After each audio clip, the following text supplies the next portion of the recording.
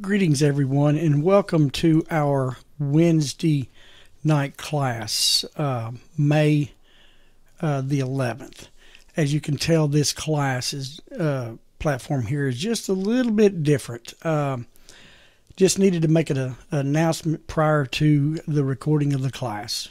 Uh, Wednesday night, we made a YouTube violation by mistake. We did not know that uh, we had bro- broken a copyright violation, and YouTube stepped in and stopped the uh, live stream uh, on the YouTube channel. So I have gone back and and made a video out of the recording that we do uh, every week when we record it for a backup. And I had to cut out our violation. We shared another YouTube video. We didn't know we could not do that. So we want to apologize to our uh, listeners and apologize to uh, YouTube for this violation. As you will notice that the very end of the video is it ends abruptly, and that's where I made uh, the cut where we shared that video. Uh, the rest after the video was just the ending of the class. So. Uh, again, I want to apologize for taking so long of getting uh, our Wednesday night class up. Hope you enjoyed it. Uh, the link to the video will be down in the description, the class description. If you want to watch it, I really recommend it. Uh, it's on the subject of Rachamim, mercy, compassion, and it was uh, really good. I want to apologize to uh, um, Mordecai Ben David, who we the video which we shared with, if we'd done anything wrong uh, to harm him as well. It was all a mistake, but it's been corrected. We want to thank our our listeners and watch uh, and those who watch our videos uh, for your patience. And hope you enjoy the class. And again join us this next wednesday as we will um, continue our journey into jonah. We have two more classes uh, finishing up the book of jonah. So we'll see you wednesday night. Hello everybody. Uh, we are so glad to be here tonight. I think we're live streaming. Uh, Amuela, we discussing whether she's in the helm room. Uh, it doesn't matter where she's at. Are we good? We're we're good to go. So uh, it's so good to have everybody with us tonight. Of course, you know we've been off for a couple. Uh, we was off last week, so last I'm going to call it a couple weeks. But uh, it sure is good to be here tonight. I'm going to say it's so good to have Amuela with us. It's good to have Wendell. It's good to have Ronald. I, I pronounced it correctly that time, Ronald. And of course, my lovely wife, uh, Annie. And always, it's good to have Terry. Those of you that have joined us tonight from uh, uh, Power Faith Radio, you don't see those people that I just mentioned, but they are here in a Zoom room. And we sure would like to uh, uh have you come on over into the Zoom room. And uh, you can do that by going over to B'nai Noach Connection with Israel Facebook page. And there you'll see the link. Those of you that are watching by B'nai Noach, I'm just getting all this out tonight, ain't I, Terry? Go for it. Those of you that are watching tonight via B'nai Noach Connection uh, with Israel Facebook page, we want to invite you to come in the Zoom room. Also, join that group. Also, uh, share that video with all your social media platforms. One more to go. Those of you watching via Torah for the Nation YouTube channel, uh, we appreciate you as well. Please subscribe to that channel, hit that notification bell that you'll be notified of every video that goes up. And without further ado, I'm going to say, Terry, would you greet everybody and I'll get ready for our Sadaka time. Greetings, everyone. Now, he went through the whole list. I'm not going to do that again, but I, I might make a worse mess than what it is. Oh, like we said, if we had went into warp a few minutes ago, we'd have probably been looking at the backside of the nacelles instead of the, you know, the beautiful universe in front of us. we would have made a whoop and well sitting there shaking her head. See, we could blame her if she's going to be sitting at the helm. Quit pushing those buttons. What's this one do? oh, boy, wouldn't that be a hey, wouldn't that not be a journey with Amuela being at the helm going through space? Hey, what's this button do? Let's find out. I, I, would I would immediately call the in, uh, up into the uh, helm and say, uh, okay, Emuela, you push another button, and I'm running out of dilithium crystal stuff. There you go. okay, go ahead. Okay, greetings, everyone, and uh, thank you for um, coming back with us again uh, tonight. We did have a, a, a week off. Um, Scotty had some business to take care of with Thomas and stuff, and and everything, and had to be off with him. We, of course, it's always nice just to take a little bit of a break here and there when you're doing this every week. It's nice to be able to sit back and relax for for an evening. But greetings, everyone. Glad you're here with us. Have your um, your uh, note taking uh, utensils with you, whether it be paper, pen, pencil, notepad, iPads, whatever.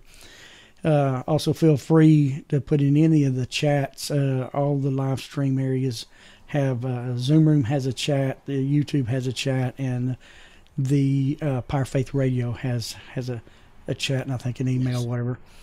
And um, is Georgia with us tonight? I want to greet Georgia, Georgia. is with us tonight. Greetings, Georgia. Greetings, 16. Georgia. I just uh, wanted to say welcome back tonight and everything. Tonight we are uh, we're going into the last lap. We're we're finally going into chapter four. It's been 18 weeks of uh, Jonah, and we should, God willing, be wrapping Jonah up uh, in within the next three weeks.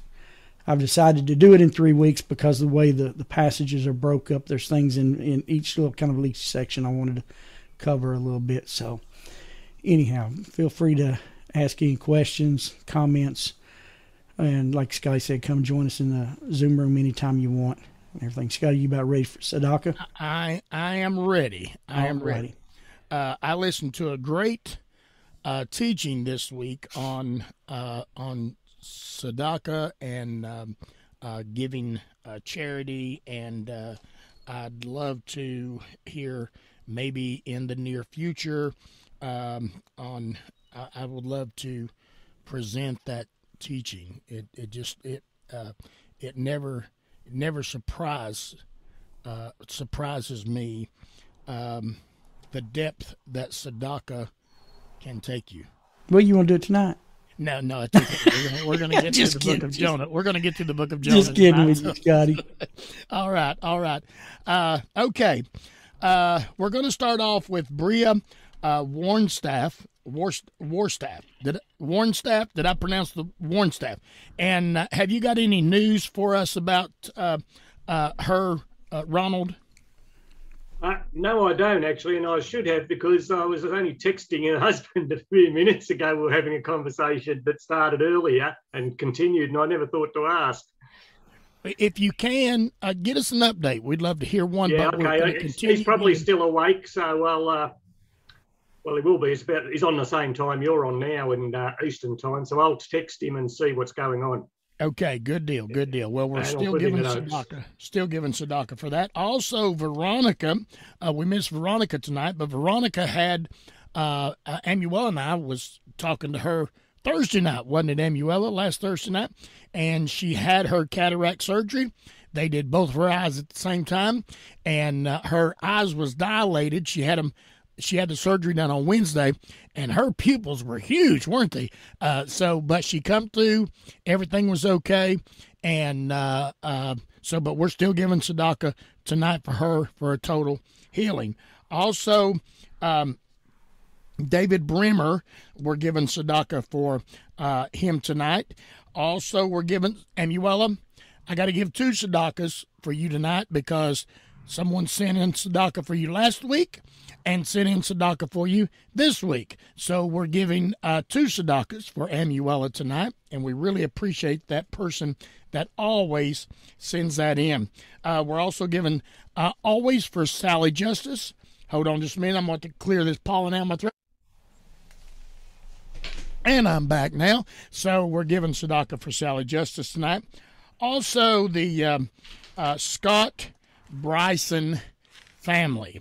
Um, uh, we went to, uh, seems like we've been going to a lot of funerals lately, and we went to another one today of a young man in the Bryson family uh, that uh, was in a uh, car wreck, and um, uh, the driver was okay, but he was ejected from the car and uh, 20 years old, and so it's a shock to the family.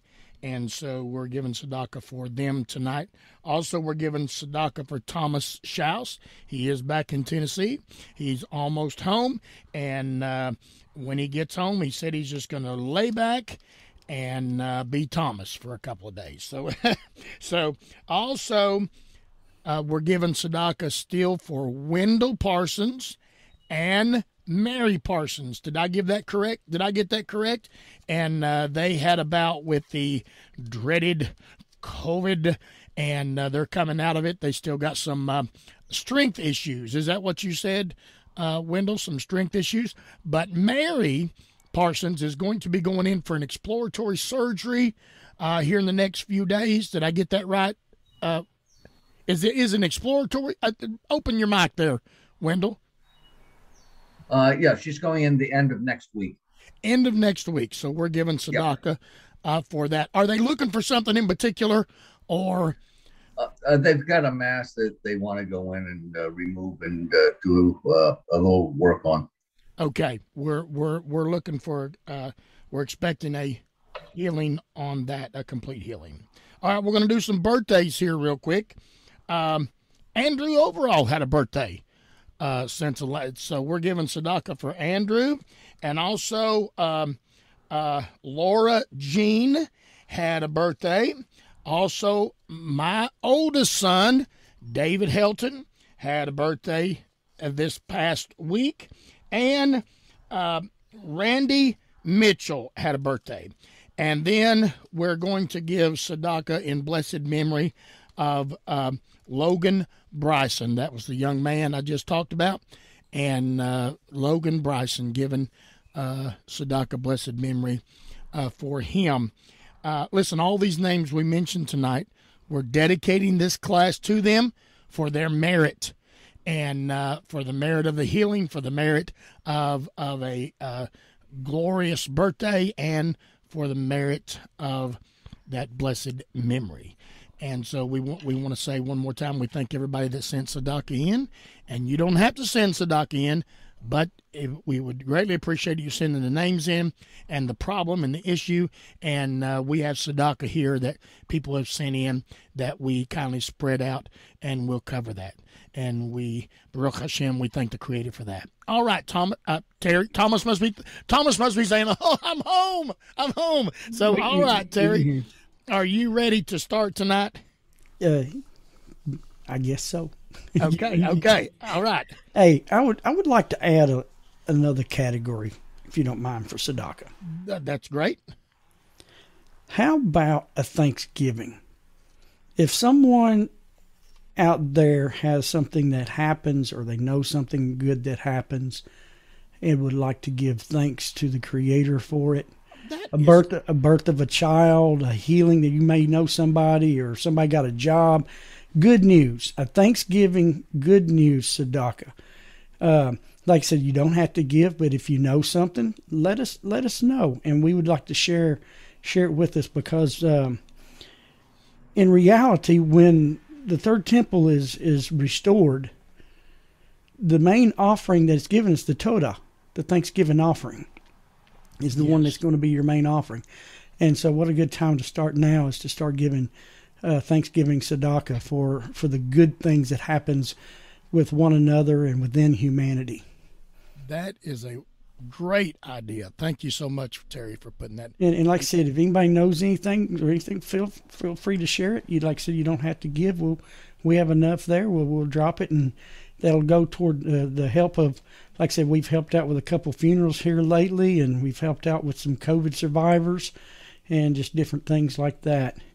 And it'd be anytime you could share some some good news, and and give Sadaka for the for a Thanksgiving Sadaka. Uh, matter of fact, I've I've got a book here written by um,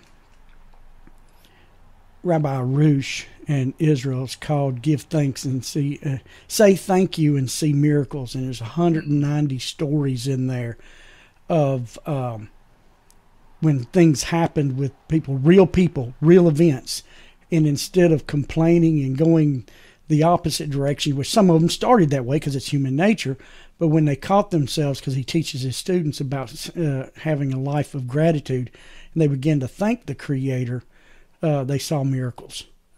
And so, so maybe sometime I'll share share a few of them. It's uh, Yeah. just by saying thank you to the Creator and have gratitude and, and good news. So, Yeah, that, all right, that- I guess that's the sermon, Ed. I guess. All right. All right, Terry. I'm going to turn it, put you on speaker view, and turn it. Scotty, how's my voice? I know. Am I still broken? No, you're sounding great. You're you're bringing some great power in. All righty. Scotty's been having to help me with my mic. I I have a tendency to lay back and talk real low. So Scotty's got meters on his on his computer, and we got got together, and he helped me get my mic in the in a better place.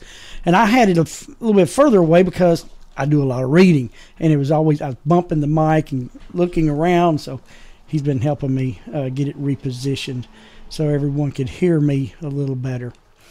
I was um, a part of a spokesman's gr- uh, club for many years when I in my younger days, and um, one of the things when I do my we did five minute speeches, and one of the things was always when they did my evaluation was speak up because we didn't have a mic, so we didn't use a mic. So you can imagine if you can't hear me with a mic, imagine what it was without one. All righty. Again, everybody, welcome. Thank you for coming again tonight. As uh, I said a while ago, we're we're on the track toward the end of the book of Jonah. It's been a, a very interesting uh, journey. I would I would have to say that even though I have studied this, I've never studied it in the depth that I had studied it this time. And so when I went, you know, almost verse by verse and word by word, there was things in there that I did not see. Um, the first couple of times I read, and even it- it's probably going to continue until we get to the to the end here. So tonight we're going to be starting chapter four, and going to try to cover through verse four, one through four. Now, before I read the first verse, I'll remind you that in like verse ten of the previous make sure I am correct on that. I believe that was verse 10. Yes, verse 10 of chapter 3, where, you know, we talked about how God saw their deeds, that they had repented of their evil way, and he relented concerning the calamity um, that he said he would bring upon them. And if we remember what's interesting, he didn't actually say what that calamity was. He just told them that he was going to overturn them. He chose a word to where if they repented, then it gave him, he didn't just give a strict judgment. And there's several different words uh, to me. if he, if he used one particular word, that uh, he was going to destroy them, he would have had to destroy them. But he used the word in Hebrew that means overturned, which meant that if they, if they chose to repent, then he would overturn them spiritually and bring forgiveness. If they didn't repent, then he would have brought destruction upon the city. So this brings us to verse 1. And what's interesting, if y'all journeyed with us along this this uh, uh, journey of Jonah, and if you've not, if you've gone and started listening from the beginning, what you're going to find out very interesting is really chapter four bookends like chapter one, chapter two, where we were dealing with Jonah fleeing from the voice of God, fleeing from the mess, uh, message, and we, we discussed why, why he fled from it. And we're kind of going back to that here as we, we close out the book. Because in verse 1 says, you know, when God relented, said, This displeased Jonah greatly and grieved him.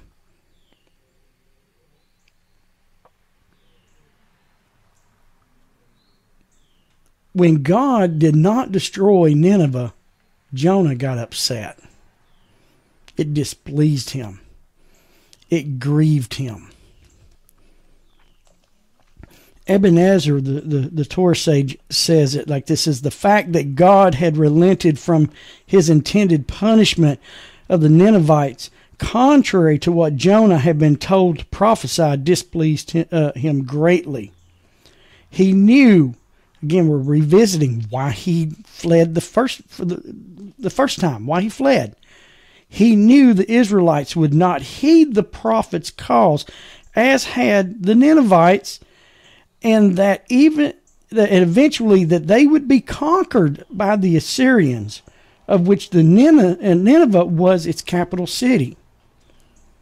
He saw himself as an instrument for an indictment against Israel who had not repented despite the many years of, of prophetic admonition. So now we're revisiting this whole thing again. The reason why Jonah fled is he didn't want Israel to to get a black eye and to, to look bad before, you know, God. That the Gentiles would repent before his his chosen children, to his chosen children who were chosen to be the priesthood. The Talmud says that the guilt is brought about through a, through an evil. Therefore, Jonah was displeased because he feared that the fact that Israel's guilt was reflected not as a result of an admonition of repentance he would deliver to Israel, but as a result of his indirect mission to Nineveh, that Jonah would thereby be a cause of Israel's condemnation and would tend to prove that he too was a guilty person Otherwise, he would not have been selected for the task. According to Rashi, because Jonah said, Now that my prophetic message has failed to materialize, the nations will claim that I'm a false prophet. So, see, he's this is this double sided coin that he was battling with God with in the beginning. On one side, Israel's going to be condemned if Nineveh repents. And on the flip side is, is if they repent and, and, and calamity doesn't come, well, you're a false prophet. It didn't happen. So he was back. It's the same double sided coin that we dealt with in the, in the opening of, of the book.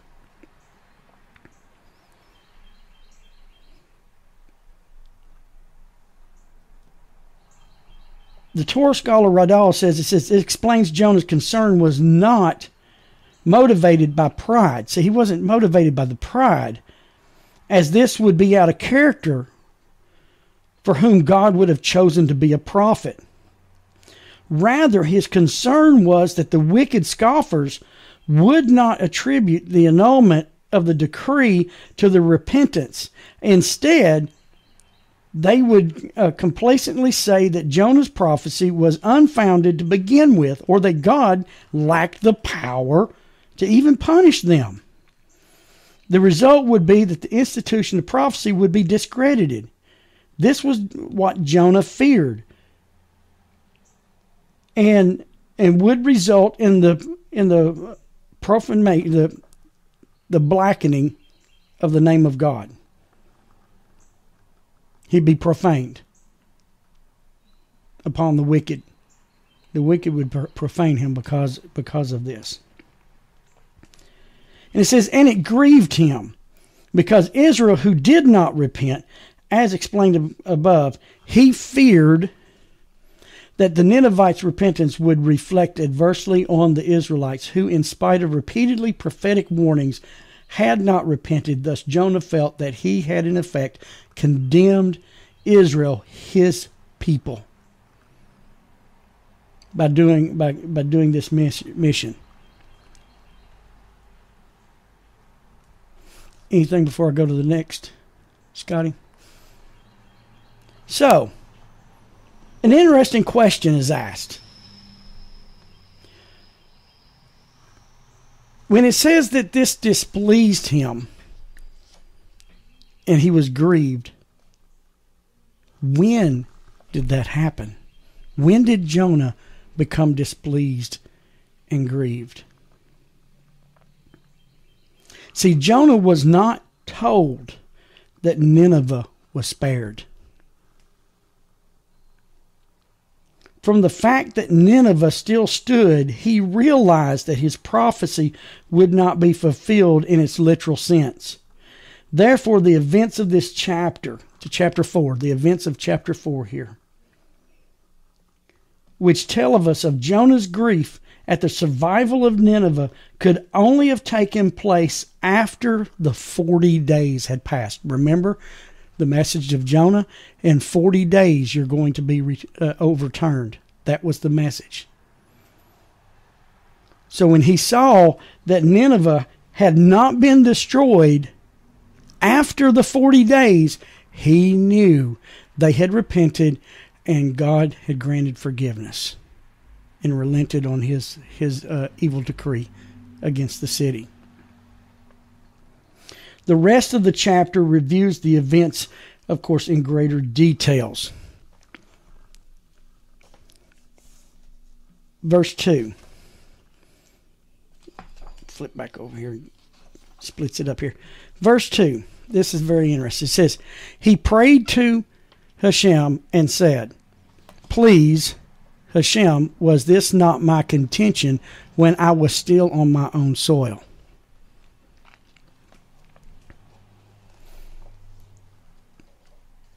Now, when when you look at this, this those of us in in the nations, and we read this in, in the English, it appears that it says he prayed to uh, he prayed to he prayed to God and said, "Please, Hashem, was this not my?" Con-? So that looks like that's what his prayer was, because there's a comma, and then it says and said, and there's semicolons, and all this. We look at it, the way it's broke down we need to remember several things. In the original Hebrew, there was no chapters and verse. It wasn't in English. It wasn't in the culture of the, of, of the English. English, I don't even think was probably a language at that time. Little, little less the, the punctuations of the English language was not around. See, in the Hebrew culture, when we read when we read here in the Hebrew, it says, uh, "Vayi tefalel es Hashem bayomer." That's the Hebrew of what I just uh, that um, he prayed and said. In the Hebrew, you need to understand these were two separate events if you remember when we talked about prayer, the same word here, see, the word prayer in Hebrew is tefillah, means to make a connection. But here in the Hebrew, it's uh, uh, vayi tefillel. Of course, the, the va is and, and he prayed. It's translated prayed tefillel. If we remember, we discussed that word. Tefillel means to do a self assessment, self judgment. He was self assessing himself before the Creator. And then it says, and he said, Vayomer, and he said, it's a separate event. When it, it is a separate, a separate thing. So I find that in, I find that interesting here. We have two separate events that Jonah was praying to God and he was also speaking to God. Two different realms. Because it doesn't say the speaking was prayer.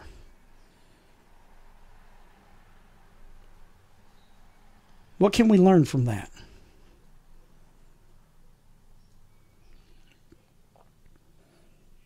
that see sometimes holding a conversation with the creator is not necessarily prayer it's prayer in general but it's not um.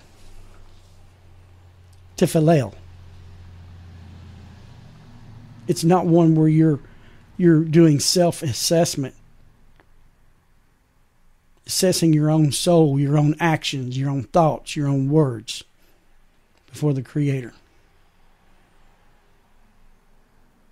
He was doing that. Then then he said, then he said, Please Hashem, was this not my contention when I was still on my own soil?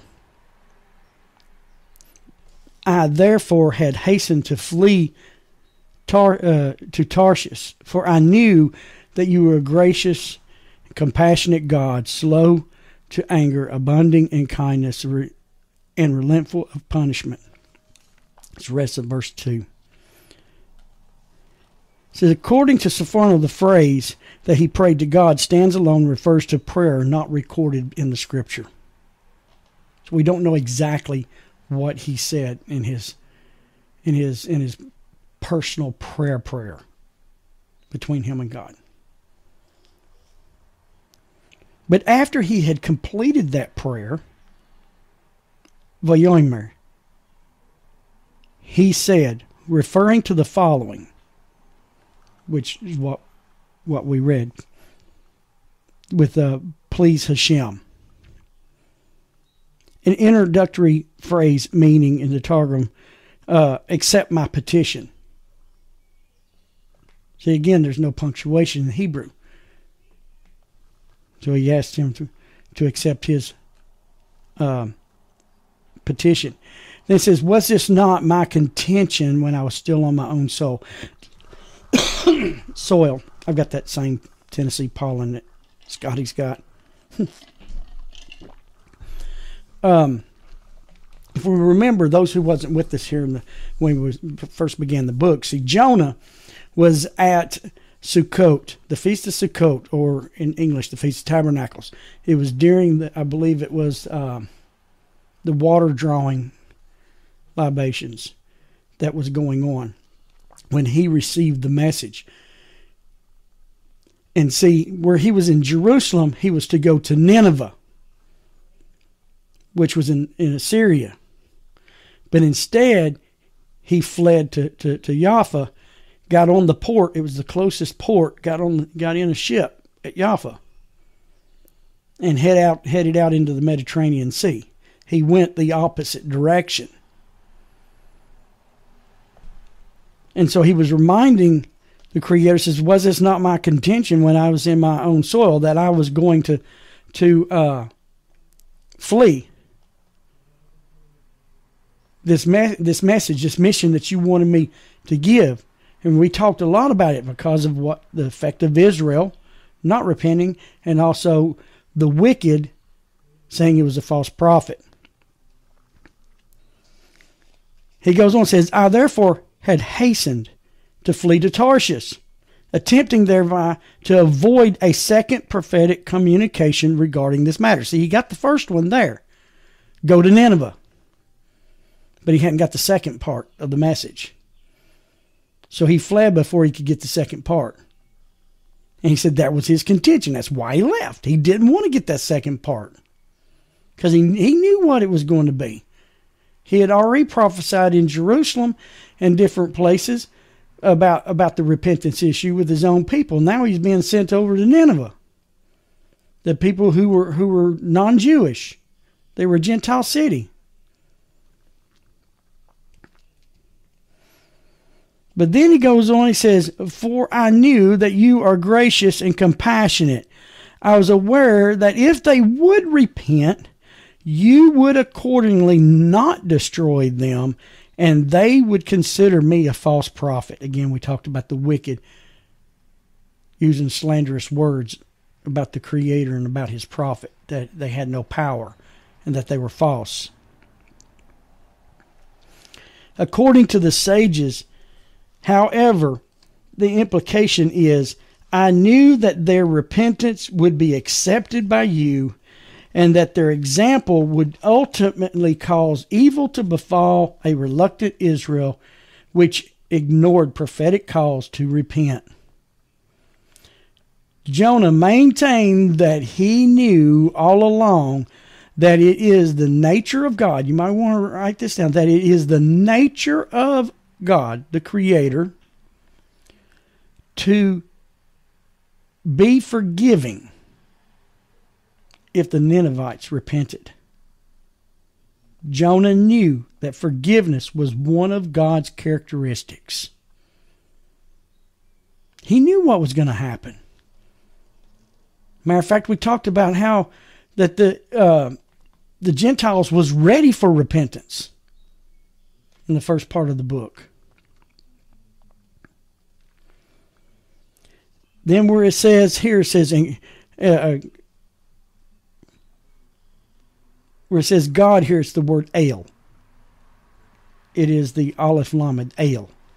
Some pronounce it as El, but it's ale. It's, it's pronounced with a long A. Rashi commented on the use of this the name of God in the 13 attributes of mercy, Exodus 34 6. Notes that in this context that El, unlike Elohim, which describes God as just, refers to his attribute of mercy, just like Hashem, the four the, the four letter name of God given to Moses. Ibn Ezra therefore interprets this also means it's powerful, which it is. Uh, means powerful to act as his wisdom dictates, to be merciful even though strict justice might dictate otherwise. See, that's an, another aspect of the word uh, of the of his name Elohim, which means judge, just, strict judgment. It also represents a vastness, and I've taught on I've taught on the, the on its meaning, meaning vast, without end. Matter, matter of fact, the uh, um, among the Hasidim of Israel, they refer to God as Ein Sof, incomprehensible. Because you can't, the human mind cannot comprehend that which is always has been and always will be. We can't comprehend that and and the name El is power. The power of God can also be the vastness, the eternal power of the Creator. Then it says uh, that He is compassionate. He's gracious.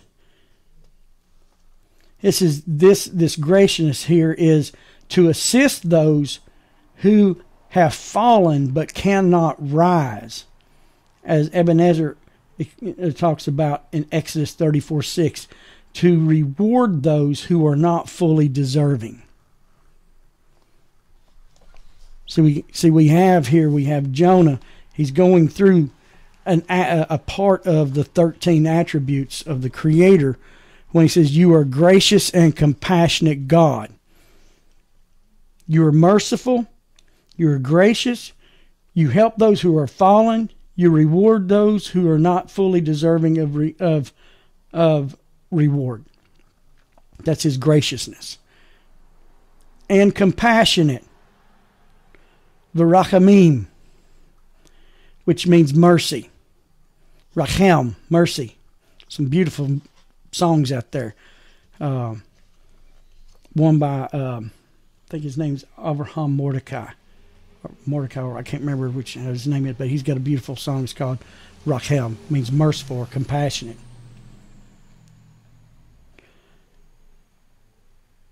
Rachem, or compassionate here in this verse, means like a father to his child to prevent them from falling, to lighten their punishment when the sinner calls. He is merciful, he lightens it. He is slow to anger. You defer your anger in the hope that the sinner will repent, and you do not hasten to punish him. And we've talked about that in the past. I think, Scotty, wasn't it one of our lessons in Jonah? We talked about um,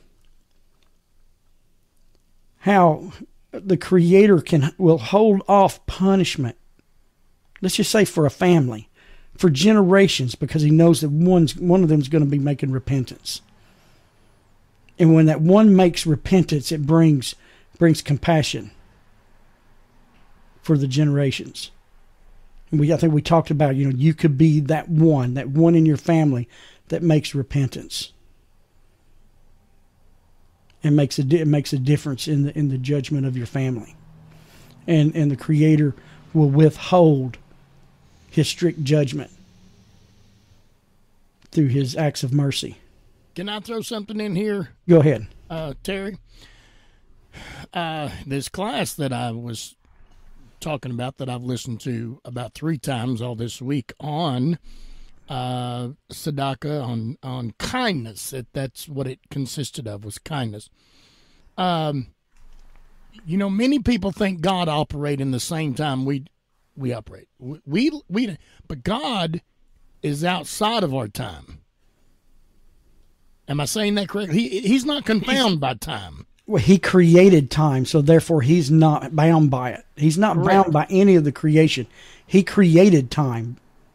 and and the rabbi that I was listening to, uh, his name is uh, uh, Rabbi Wolbe, uh, mentioned in, in uh, and he read it from uh, one of the commentary of the sages uh, that uh, the the kindness that you show forth today can plant a seed and it be birthed in one of your offspring. It was Right. real, real great how he how he presented it, and we don't know the the depth of what we do today. Just like you said, that the Creator can see. I'm going to use the term down the road for us, but he, you know, he sees that uh, kindness coming forth. What what is that a word that you say all the time about about the human? It's the it's it's how we use human terms to to describe the Anthropomorphism. yeah to def- describe the divine. We have to use we use human terms, which are not his terms. They're ours because we're the ones that are human, trying to explain the divine. And so we use like the word anger here. He doesn't really get angry because that's a human trait. Anger is not one of his traits, but one of his traits is strict justice. And when he applies strict justice, it appears to us as it's anger, but it's not. Right. So it's again, we're on the human side of things, so we have to uh, explain things through through us. So there is a deep, and I'm going to use the word. I don't like using this word because some people can take it wrong, but there's a deep Hasidic. Uh, I'm going to say I'm going to use the word esoteric. I guess it might be a better word than mystical. Way to explain the vastness of God, and you're saying He's outside of time. See, when you when you look at Isaiah 45 and, and the creator says I he says Ani Hashem va'enod I am God and there is no other. There is no other. There is a very deep teaching on the no other, the va'enod. And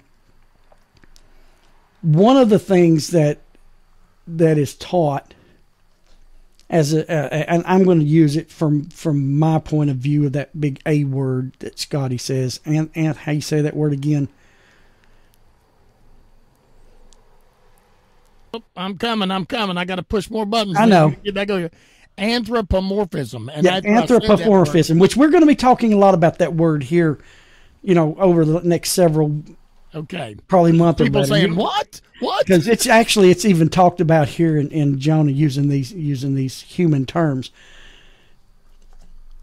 In the vastness vastness of God, and that He's outside of time, as as, as Scotty and I was talking about, is Ani Hashem V'enod, I am God and there is no other.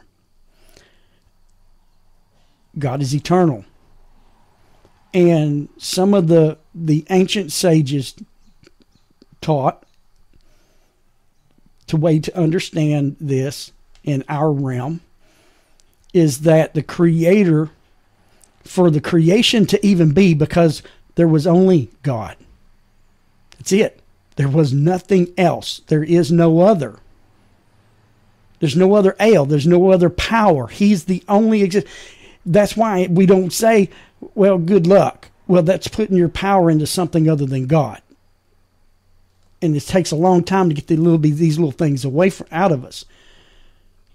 But he had to hollow in in in a in a humanistic description. He had to hollow himself out, and so therefore the creation is within him if if we could look at, at, at it physically, you've got God, and then the creation is inside of Him. So He's, and that's why we say He's outside of nature. Outside, that's because He envelops us. He completely envelops us. There is no other. That's why idolatry is so wrong. Idolatry seeks to replace God with something else, something man made. And so he is slow to anger. And he can he he he he doesn't he doesn't have eternity because eternity is a time. And a time is a creation. There is no time in in God. There's only time where we're at. Because mostly our time it relates to this earth moving around the sun for us. I probably made that as clear as mud, but we'll we'll talk about it. We'll talk, you know, like mud on a mud on a windshield and hit it with the wipers. You know, sometimes it gets that way. Um, but we'll talk more about that later in, in, in, in further teachings and stuff. Then he goes on, he says, Jonah says, uh, you know, continuing with his attributes, abounding in kindness, chesed. Matter of fact, it's uh, uh, the Rav Chesed, Rav, great, mighty um, kindness. To those who are in need of his kindness because they lack merit. According to Ibn Ezra, this is the kindness that extends both to the righteous and the wicked. He shows kindness to the wicked every day. Every day, a wicked person that a wicked person wakes up, he's been shown kindness. Every time he puts food in his mouth, quenches his thirst, that's kindness. Every breath he takes, every heartbeat he has, that is a kindness of God. He hasn't wiped him out. He gives the wicked the time they need to make a repentance. Matter of fact, Ezekiel 18, he even asked the question, Do I desire the death of the wicked? No, he doesn't. He desires their repentance. So he gives them all the time they need.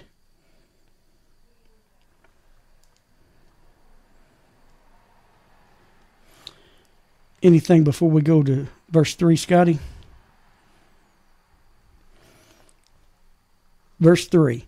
So now, Hashem, please take my life from me, for better is my death than my life. Where he says, Now Hashem, please take my life. Literally, the, the Hebrew word there is soul. Take my, he says, Take my soul from me. And spare me the sight of the destruction of my people.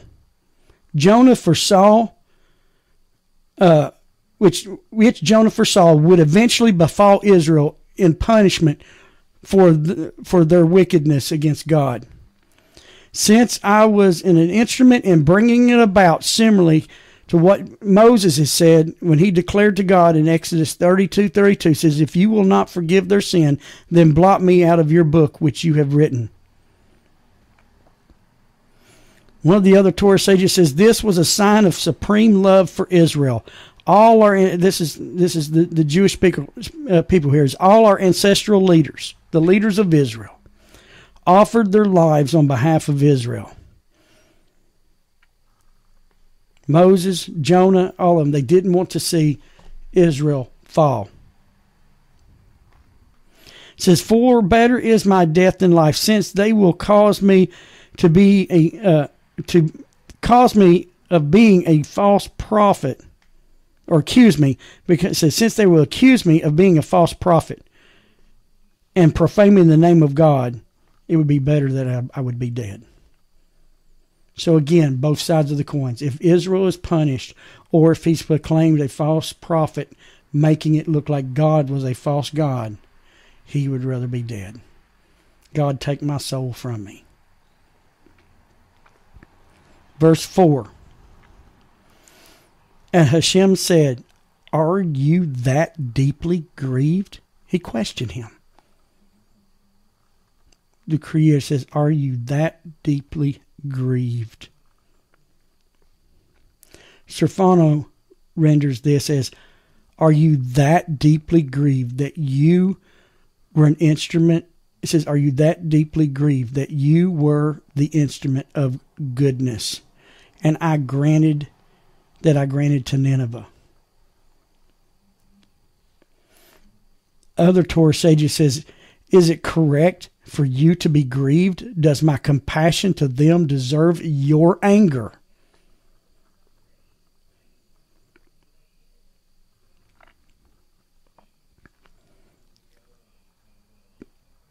Jeremiah 8 or 28 9, where it says, Here God reminded Jonah of the principle given in Jeremiah 8, uh, 28 9. The prophecies of evil tidings are always subject to annulment based on repentance. Prophecies of good tidings, however, are inviolable. Avoidable. Therefore, Jonah could not be accused of a false prophecy since a prophecy of destruction is subject to change. But when I, you know, later on here, hopefully in, in a short period of time, when when Hashem, when when the Creator said to Jonah, "Are you that deeply grieved?" It reminded me of another conversation that he had.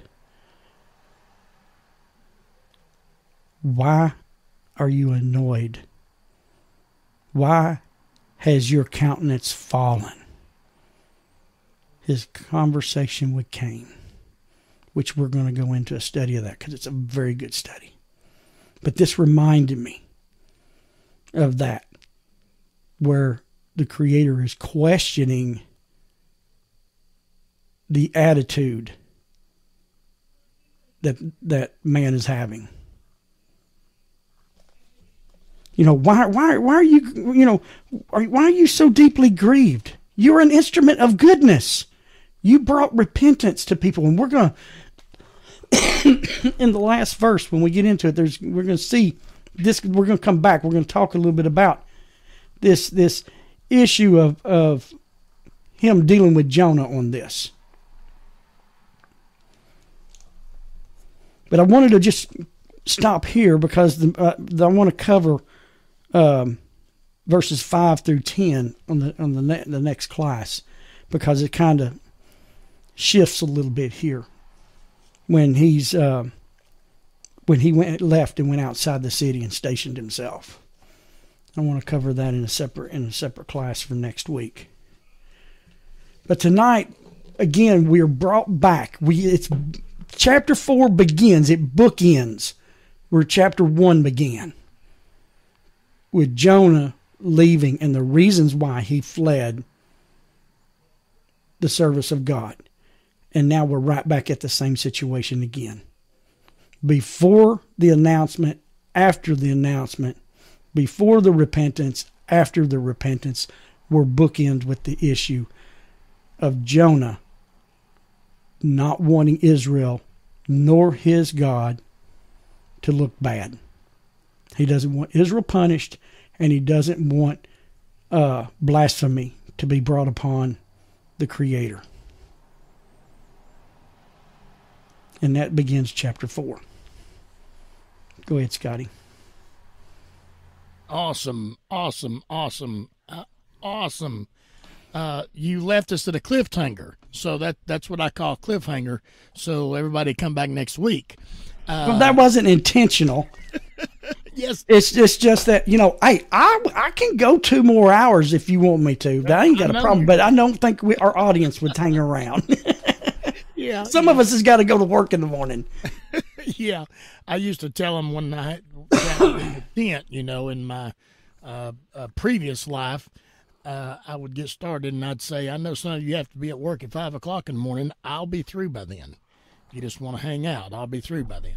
So uh, I think we're cut cut from the same cloth in that area because we see, you know, we don't wear watches that, that yeah. we didn't wear watches then. We don't wear them now.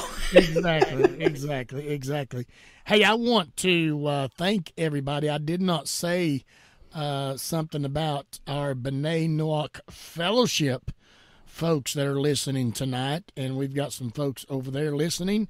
Um, uh, and so Christina and uh, uh, Tiffany are listening over there, and we've got somebody else, but they uh, I'm, uh, they haven't commented, so I don't know who they. Oh, that's Tiffany. Uh, I needed to hear this so badly. So Tiffany says, uh, "Thank you, uh, Terry." Also on uh, uh, Noach Connection with Israel, we have some folks listening. Three, and then also I want to bring up something that uh, Wendy Shepard on YouTube.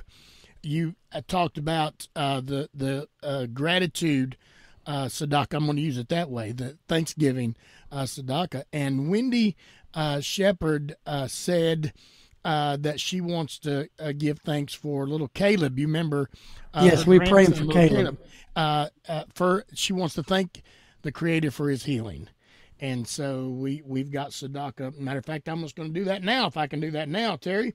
And uh, so um, we really appreciate Wendy and uh, Wendy. We are giving Sadaka right now for uh, Caleb, thanking the Creator for his healing. Uh, funny thing that happened over there. I mean, I'm trying to have to push this dollar in there. Funny thing that happened over there.